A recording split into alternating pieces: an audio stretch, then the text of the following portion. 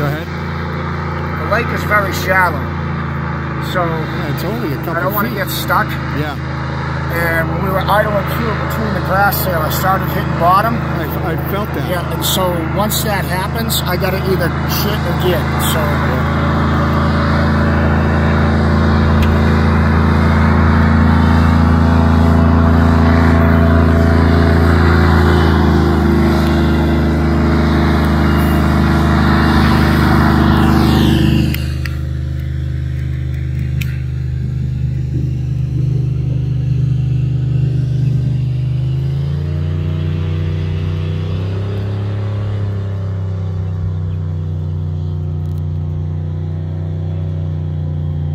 My buddy Bill's place. Well, actually, we get to his lake up at Lake Placid. That's pretty cool. Um, there's not as